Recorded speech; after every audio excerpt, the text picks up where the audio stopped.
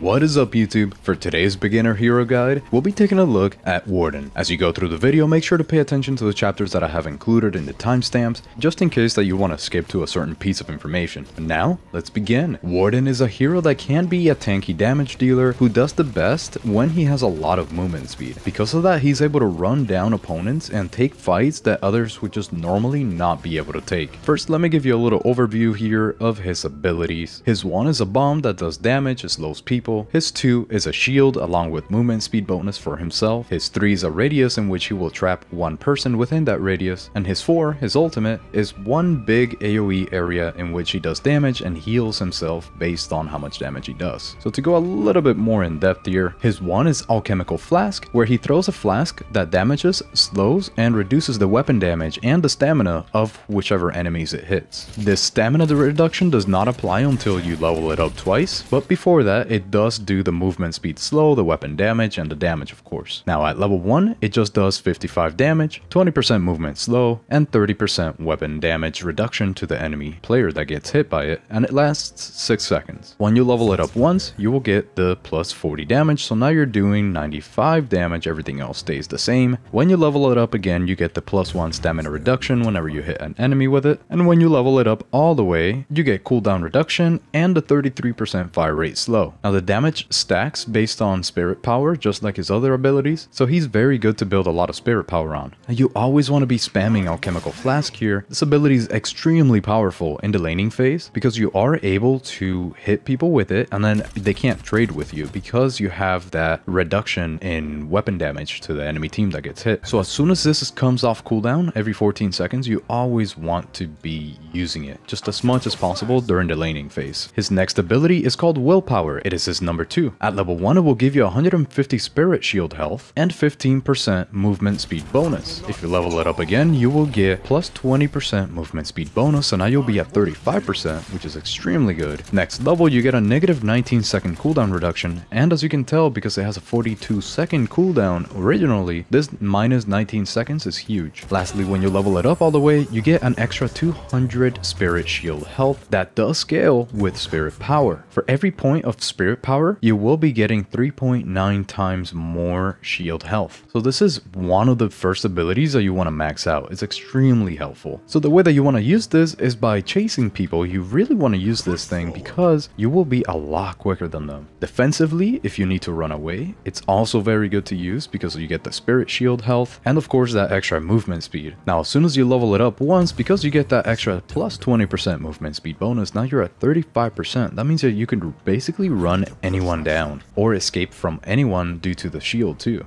It's just a really helpful ability, this number 2 here. Then his number 3 ability is called Binding Word. It has a 20 meter radius with a 37 second cooldown, and it says that it will curse an enemy hero. If they don't move away from their initial position within the escape time, they will be damaged and immobilized. As soon as it goes off when it locks, it will be doing 120 damage to the enemy player. It will keep them from moving for 1.75 seconds, but that means that they can still shoot, they just can't move. They also have 2.9 seconds to escape from this radius radius here. If they escape from this radius, then they won't be trapped. The radius, the range at which they have to escape is 18.5 meters here.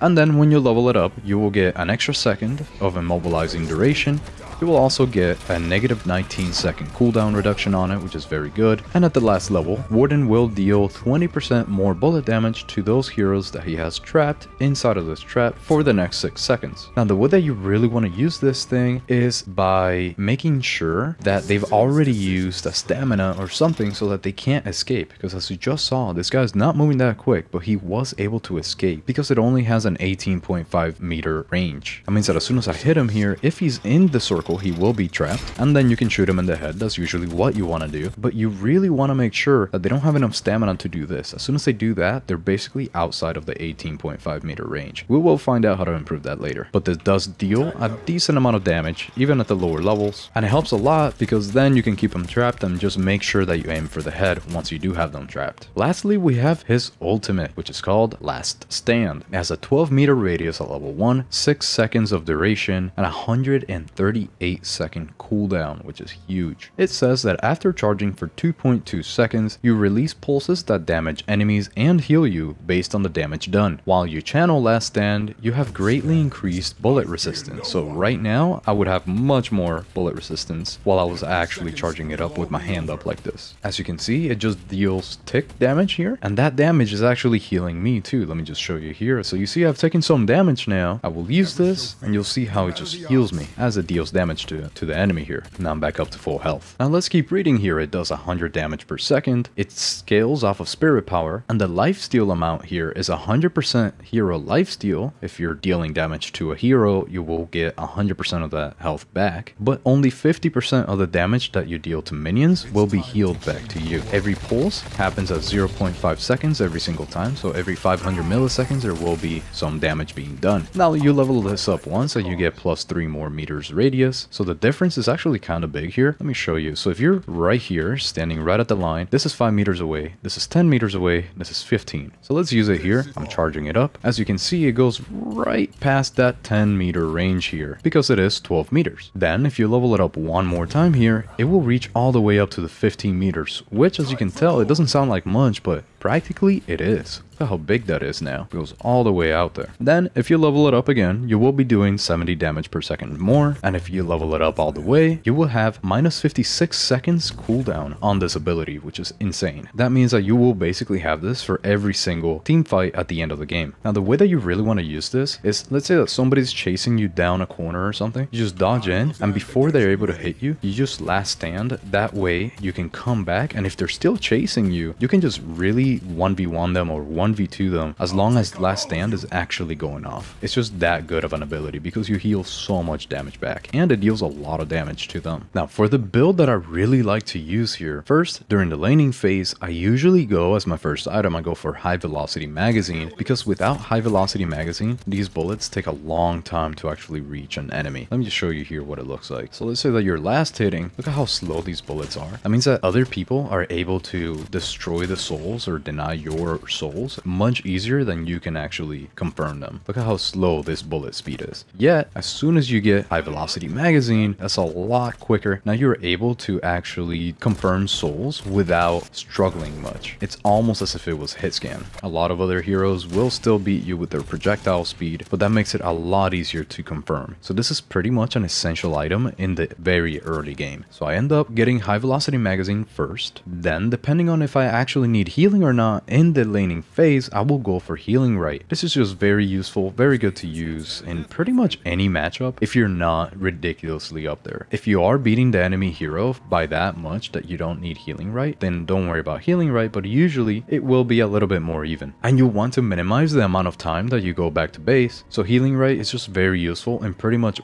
most matchups. Then I like to go for Basic Magazine because it gives you weapon damage and more ammo. As you can see, we only have 17 rounds before we have to reload. And a lot of us, I know that a lot of us beginning to play the game that don't know how to manage the ammo correctly yet have issues a lot of the time you're reloading while there are souls in the middle of the air. So therefore, more ammo equals more better because now we have 22 bullets to actually mess around with. That's a lot better. The next few items during the laning phase highly depend on how it's going. Sprint boots are for whenever you're about to leave the, the lane so that you can go gank easier. Close quarters is extremely good if you're gonna stay in the lane and you're beating the enemy already. Mystic Burst is also very good to use because then your Q just does more damage, which is always just better if you're to be staying in the lane for a little bit longer. Mystic Reach is also really good because your ultimate goes way further using Mystic Reach now, and so does your Binding Word, because now you have a 22 meter escape range due to Mystic Reach, so that'll make it a lot harder for the enemy to actually get away from your jail. And lastly, Slowing Hex. You can skip this if you want, and save up to get a knockdown here, but I do enjoy getting slowing hex at the very start of the game because it makes it a lot harder for the enemy team to run away from your jail and then you can basically 1v1 anyone. This is because of the movement slow that it applies to the enemy player, which is very good to have. But in the end, I do like knockdown a little bit better. Now, during the mid game here, you're going to be ganking a lot, you're going to be moving a lot, so Fleet Foot is just amazing. Using this, you can run down players really easily. As you can see on the bottom bottom left here, we have a movement speed of 8.0 meters per second. Now, as soon as we use Fleet Foot, we have 11 meters per second. That is a lot higher. And then if you use your number two here, let's say that is leveled up just a little bit, along with Fleet Foot, you will see how you're getting 14 meters per second. That is so fast. That is almost the speed at which you zipline. So Fleet Foot is just always amazing to have so that you can run players down. Along the same route, I really enjoy getting Enduring Speed as the upgrade to my sprint boots because of the base movement speed upgrade here. Sprint speed is always nice too whenever you're gonna go gank and it stops people from slowing you down as much because of the movement slow resist. Next, I do really like getting knockdown at this point in the game because you can use that in combination with your binding word here to really hurt someone. So let's say that you have somebody in the middle of the air, so let's say a Vindicta or maybe a Grey Talon, something around those lines. You can always use your knockdown first and then before it goes off, you apply your binding word here and it keeps them within the range of your jail heal uh, here a lot easier. Bam. And now he really can't escape. There's almost no way to escape that as long as you just wait for about a second. So basically you would be using knockdown, count half a second to a second, and then hit your binding word, and they'll almost always be within that circle there. It will not be easy for them to run away, so that's why I really like knockdown. Next, let's get a lot tankier here using Enchanter's Barrier and Combat Barrier. Both of these will give you a different shield, so Enchanters will give you Spirit Shield and Combat will give you Bullet Shield. As a passive, whenever you have one of these shields, you gain bonus Spirit Power and cooldown reduction whenever you're shielded with your Spirit Shield, and then weapon damage and fire rate while shielded using the Combat Barrier. Both of these, because you do have a pretty good shield here for willpower especially, that means that you'll almost almost always be shielded whenever you are in a fight. So these items here make it so that you can deal a lot more damage and give you a lot of survivability too. There's just no way that you don't get these. These are just too good on Warden. Then I really like getting something like Quicksilver Reload to make it a lot quicker to farm. You want to use it on Alchemical Flask here so that whenever you throw it,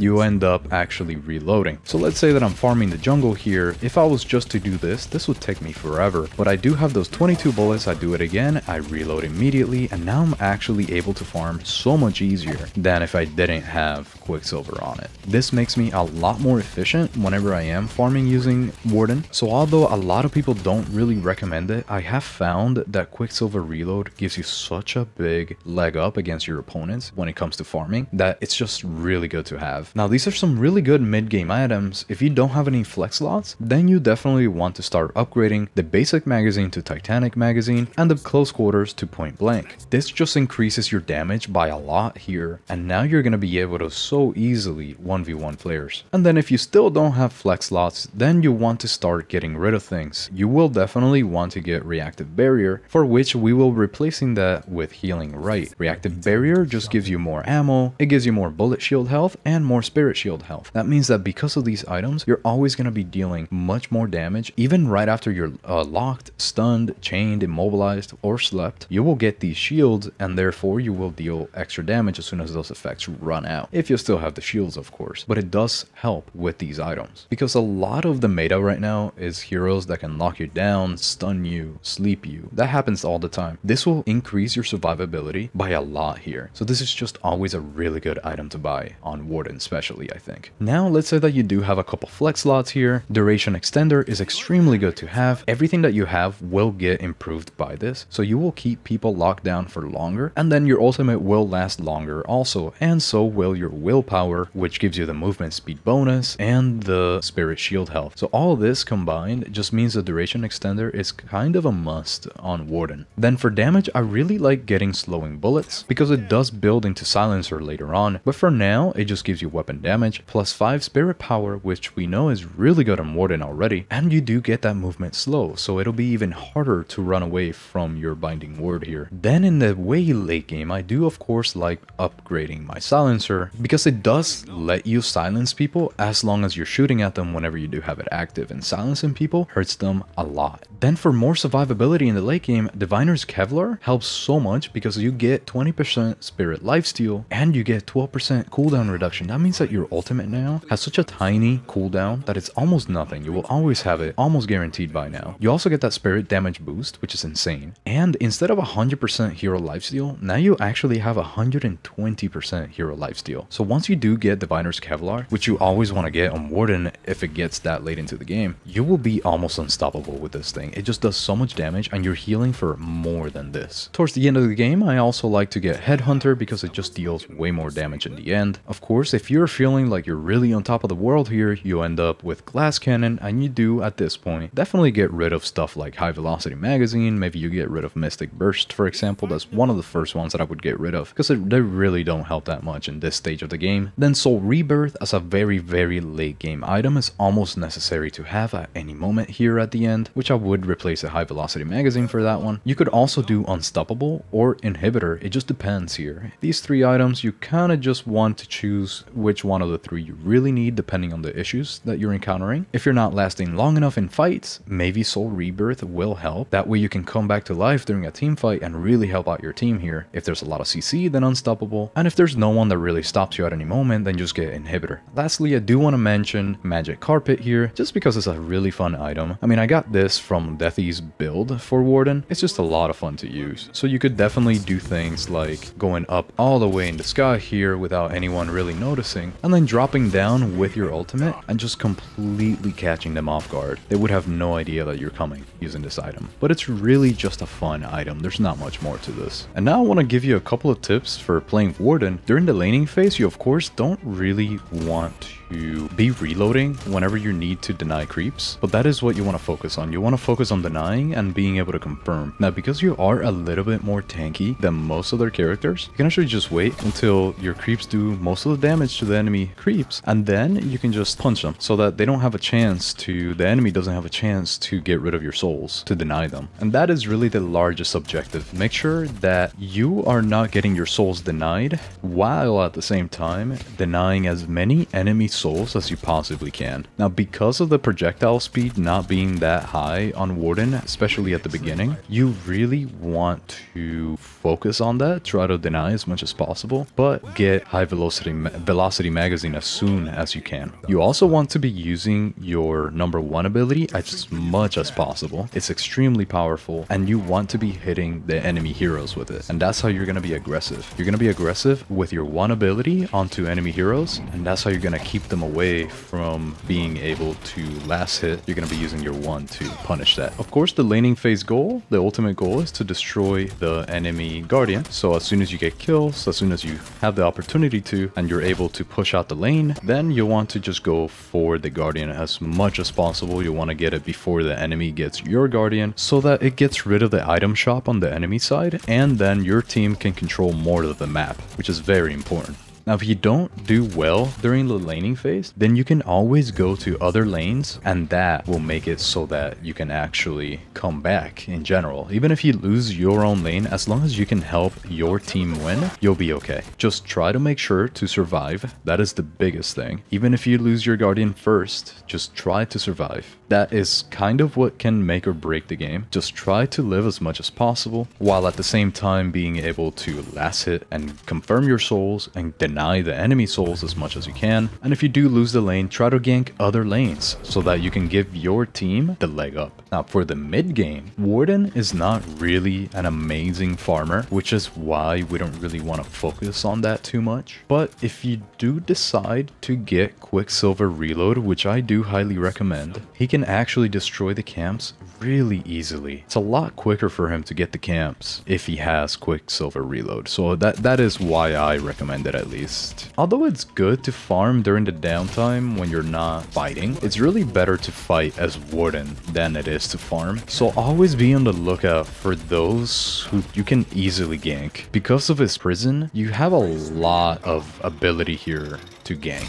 You're able to lock them down for a very long time. And let's say that you did get something like Knockdown for example, which is highly recommended. I do really like this ability. Let's say that you use it on somebody that you gank, then you do this, and they pretty much can't escape. This is almost a guaranteed kill for your team if you gank somebody with that. So I do think you should really try that out. If you're losing the lane, just try to go for that. You can also do the same thing with slowing Hex, of course. The most important tip, even during the mid game, just like in the early game there, is that you always want to survive. You'll have an easy time soloing people whenever you do have knockdown, or, you know, even if you got slowing Hex, but you always want to make sure that you just don't die for a kill. So whenever you do gank, try not to die. So if you're just about to get the kill, don't rush for it. Don't tunnel vision into getting that kill. Just go back. If you didn't get the kill, you didn't get the kill. It's okay. Just try not to die. Lastly, during the late game, you're really a fighting champion. Your ultimate ability makes everything happen for you. You can almost just survive against 3v1 just because your ultimate is going off. It heals you for so much and does so much damage that you can really stick around, especially when you use your shield here and you do have things like combat barrier and enchanter's barrier. Just don't be afraid to fight as long as you have your ultimate ability in the late game. You always want to be with your team. Farming the jungle only happens when you're not fighting, just like during the mid game, but at this stage of the game, you should always be looking to pick off lone opponents and then pushing into the enemy base with your team after getting that one pick. So that way you have like a 5v6 for example. Just always try to fight whenever you do have your ultimate backup, whether that be a team fight or maybe you're picking somebody off that is just alone in a lane somewhere. And that's really going to help you out with Warden here. Now, I really hope this helped you out as a beginner. I know that making these conscious decisions have really helped me become a better Warden player, so I really hope they help you too. Let me know in the comments down below what improvements you would like to see in this series if you have any. Leave a like if you enjoyed the video, and I will see you on the next one. Owl out.